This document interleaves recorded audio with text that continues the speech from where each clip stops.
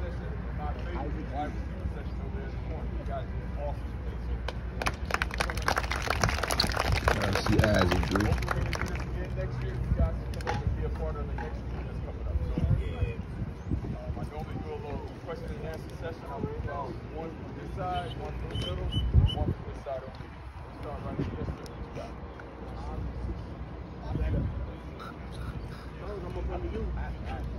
Under you. You got the white spray now. I'm I under don't know, you. you might have to check your bag. You might have to put in it on. May have it. Damn, he 10? Built like that?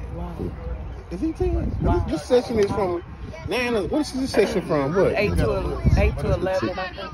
You got, you got a little brother. eight, What two. you want him to go? Bro, look how that little boy built up, bro. They He's say, probably they 10 say or if you got a 11. little He's probably brother. He's you want probably them to 10 go or together, 11. you can have them go together and then y'all can Oh, burn out. oh, got you.